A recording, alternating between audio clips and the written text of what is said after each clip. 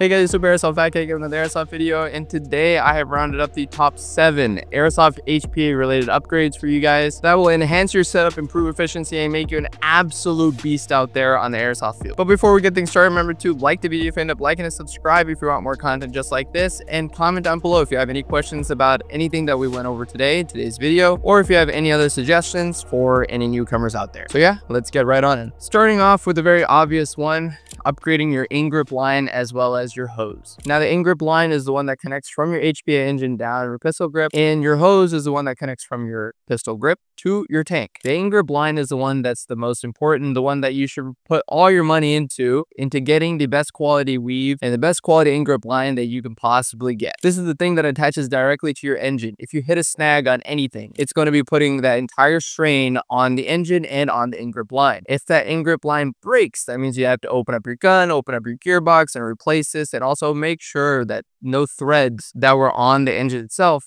tore off or broke. Getting a higher quality in-grip line gives you better longevity and also damage protection. The amount of times that I had snagged something with my line and just yanked the gun out of my hand, uncountable. So I recommend the heavy weave in-grip line from Amped Airsoft. They used to offer an industrial weave. I don't know where that went or what happened to it, but it just doesn't seem to exist anymore. I have the industrial weave because that was the best one that I could possibly find and buy at the time. I'm not entirely sure what happened to their weave lines, but heavy weave is the best one you can buy now. Now, since you spent all your money on the in-grip line, you can go ahead and cheap out and get a more standard looking hose. The one that came with the Wolverine Airsoft regulator was actually really high quality. That one's fantastic. The standard weave or premium weave or heavy weave from Amped Airsoft. Any of their hoses or lines are fantastic. So those are the three that I recommend. If you're going out to buy one, go and buy one from Amped Airsoft. If it came with your regulator, if you bought the Storm uh, regulator that I reviewed recently, you can go ahead and keep using that hose as well. But for the in-grip line, buy the heavy weave. Your setup will thank you. Next upgrade on the list is the Blackleaf Speedboard. God, this thing is awesome. It gives you that 0.25 millimeter travel distance trigger. It gives you a clicking trigger, one that gives you a tactile feedback from an actual button being pressed rather than something super mushy like the standard trigger boards that come with your jacks or F1s or Infernos. It's not too heavy either, so it's a very light trigger press, a very short trigger press, and a very crisp trigger press. If you have a jack, F1, F2, uh, Wolverine Inferno or Wolverine Reaper, you can definitely benefit from upgrading to one of these things. When I built my first HPA gun, I put one in. When I built my second one, I built put one in. Recently, when I upgraded my friend's AEG gun to HPA, I put one in there as well. These things are awesome. On top of the trigger feel being absolutely top tier, it also has an electric safety I know a lot of you guys are running around uh, with drop-in kits that just completely disabled the ability for you guys to have a functioning safety. This trigger board has an electromechanical safety. So if you install the thing correctly, regardless of your drop-in setup, it will have a safety that works if you flip that switch into safety. So yeah, it's perfect for setups where their physical safety just doesn't work. This will help out with that. Now it's not tunable by any means, so you are limited to that 0.25 millimeter trigger pull distance, but it is so good. Buy one, drop it in, trust me, you won't regret it. Next upgrade on the list is a better FCU, specifically Gorilla FCU. Now, there are FCUs from the likes of T238 and various other brands out there, but Gorilla FCU is the one that everyone seems to rave about and one that I really want to put into my gun personally. The Gorilla FCU is an essential upgrade if you want to get the most out of your airsoft gun and have maximum control over little little aspects of it to get the most performance. The FCU comes packed with a ton of different features such as adjustable rate of fire, binary, avoiding dry fire with their magazine counter,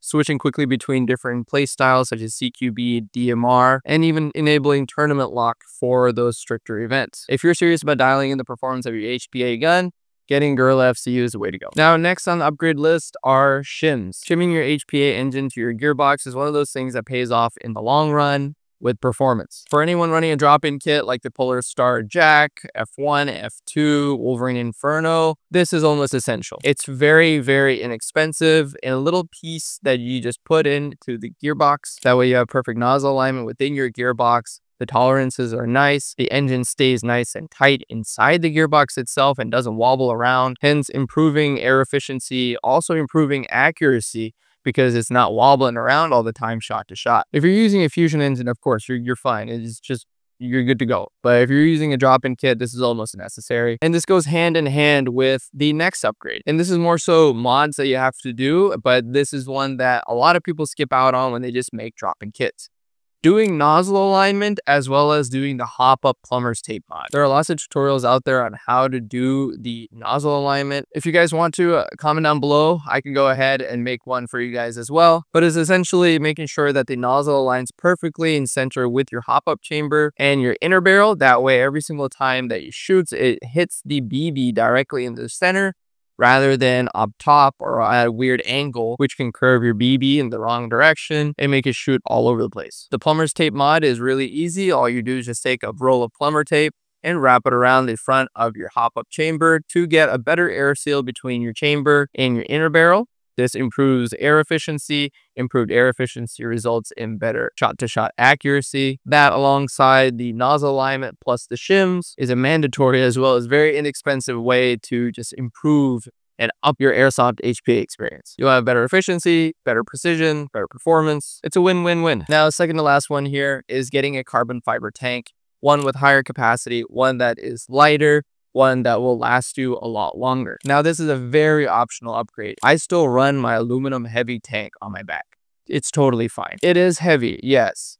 Carbon fiber tanks are a lot lighter, yes. Carbon fiber tanks have higher capacity, Yes. But I only play for about three hours a day. The weight isn't too bad for me, so I don't need that extra capacity or lighter weight, but this is a very good upgrade for those who actually play for extended periods amount of time. If they're if you're on like a really long milsim event or something like that and you need a ton of air for the entire day, you're just shooting and dumping BBs and you're carrying your pack around for an entire day, yes, getting a carbon fiber tank will be the best upgrade that you can do for your physical body and your back and your shoulders, as well as for your gameplay experience. A lighter tank means less fatigue. Carbon fiber tanks also come in higher capacity, so higher capacity tanks mean more shots um, for the entire day. It's really a win-win-win with these tanks. There's really nothing wrong with it other than the fact that you do have to hydro it, and that, that but that's like multiple years down the line, so it's not a big deal. It is expensive, hence why it is a very optional upgrade, but one that might be necessary if you are one to play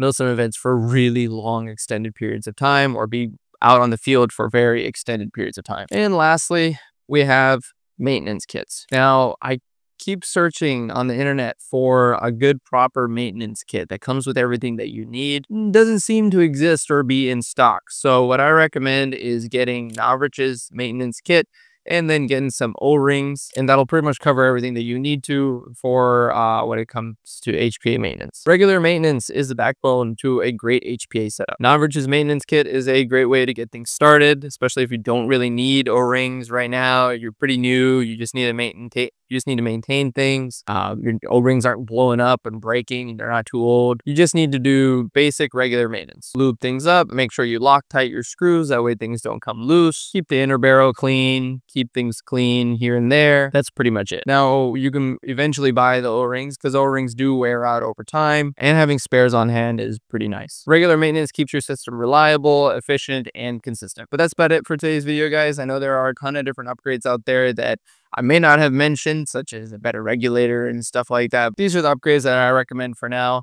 If you guys have any other upgrade recommendations, comment down below. Quick shout out to my AEG to HPA video where I actually put in a lot of these upgrades into work and show you how to install them and stuff like that. So check that video out up top if you are new to HPA and need to know how these upgrades even work or come into play um, and how to install them.